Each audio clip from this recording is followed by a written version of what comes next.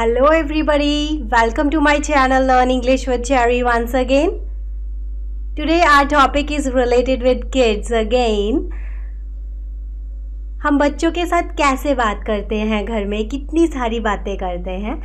तो उसमें से कुछ हैं जो मुझे क्लिक करी या आप लोगों ने कुछ कमेंट करके पूछा तो मैंने उन सबको कंबाइन करके ये कुछ सेंटेंसेस हैं। Let's discuss all these things in our part number 36 of Daily English.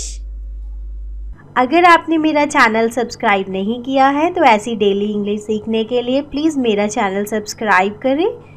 You will get so many videos more than fifty videos on daily English on my channel and इस bell icon को click करना मत भूलिएगा so that you can get all my new upload now this is the first sentence कि जैसे हम कहते हैं, बेबी छोटा है, या हम उसको गोद में उठाते हैं तो हम कहते हैं, आ जाओ मेरी गोदी में बैठ जाओ। Come into my lap come into my lap या फिर जैसे हम कहते हैं अब मेरी गोद से उतर जाओ। Take off my lap take off my lap मेरी तरफ़ मुँह करके सो जाओ।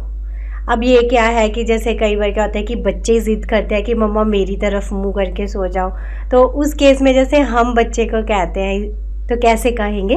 Sleep on my side sleep on my side या फिर sleep while facing me sleep while facing me या फिर, जैसे है कि हम बच्चे को इंस्ट्रक्शंस देते हैं कि ठंड है या एसी में ठंड लग रही है तो चादर ओढ़ के सो जाना। चादर जो है अपने ऊपर कवर करके सो जाना।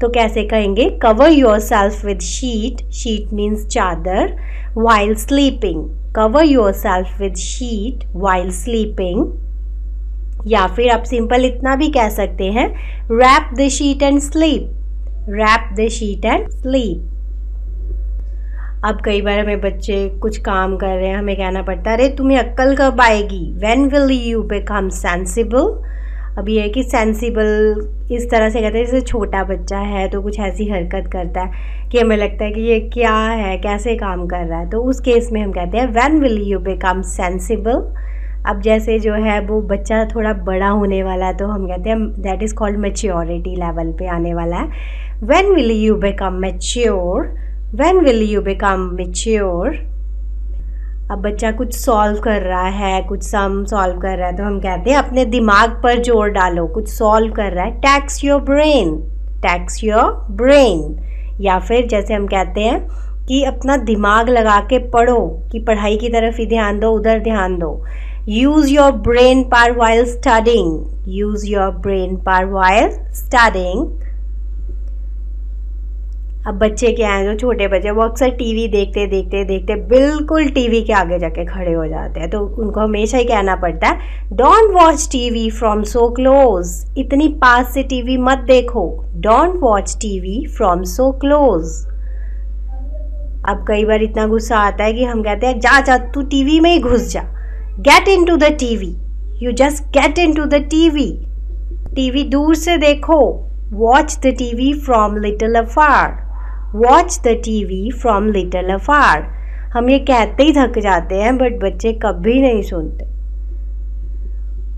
उसके लिए है कि हम कहते हैं कि तुम्हारे तो कान पे जू तक नहीं रेंगती। मैं जितनी बार मर्ज़ी कह लूँ ये बात। तो उसमें कैसे कहेंगे you are not paying heed at all you are not paying heed at all तुम्हारे कान बज रहे हैं?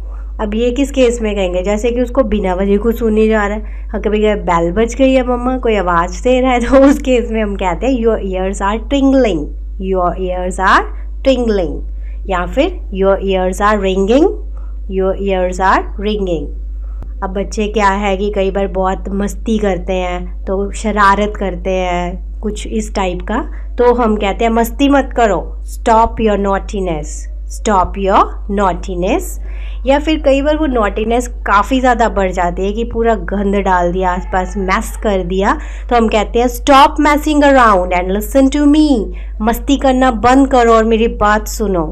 Stop messing around and listen to me अब यहाँ पे है कि मेरे साथ गड़बड़ नहीं। डोंट मेस विद मी ये होता है कि थोड़ा ज़्यादा ही प्रॉब्लम हो गई कभी तो उस केस में हम यूज़ कर सकते हैं। भागो मत, गिर जाओगे। अब ये क्या कि बच्चे को हम पार्क में ले जाते हैं या कहीं बाहर है तो उनको आदत होती है कि फटाफट भागो इधर उधर और खेलने के लिए। तो उस केस में हम कहते हैं don't run you will fall down don't run you will fall down या फिर हम जैसे कहते हैं, झूले ले रहे हैं बच्चे तो उस केस में हम कहते हैं, ध्यान से, नहीं तो गिर जाओगे। Be careful or you will fall off the swing be careful or you will fall off the swing अब कई बार क्या होता है कि पानी होता है कहीं पे तो उस, वहाँ से एकदम कोई फिसल के गिर गया तो उसमें हम वर्ड यूज़ करेंगे ट्रिप्ड वो फिसल के गिर गया. He tripped and fell he tripped and fell आराम से चलो, नहीं तो चीकड़ में गिर जाओगे. अभी हो सकता है पानी है, आपको लगता है कि उसमें गिर ना जाए बच्चा तो हम कैसे कहेंगे? Walk carefully or you will fall into the mud walk carefully or you will fall into the mud अब कहीं बाहर है, आपको लगता है कि बच्चे की जिप खुली है तो एकदम से कैसे कहें? तो तो कैसे इसको यूज़ कर सकते हैं? Zip up your fly zip up your fly अपनी पैंट की जिप बंद करो। मुझे तंग मत करो don't bother me don't bother me दिखावा मत करो। अब बच्चे क्या कई बार बुक लेके बैठ जाते हैं, बट पढ़ते नहीं है। तब हम कहते हैं डोंट प्रिटेंड बच्चों की कई बार नाक बहरी होती है तो उस केस में हम जैसे कहते हैं यू हैव रनी नोज़ तुम्हारी नाक बह रही है। यू हैव रनी नोज़ या फिर जैसे हम कहते हैं, रुमाल से अपना नाक साफ़ करो। Wipe your running nose with hanky wipe your runny nose with hanky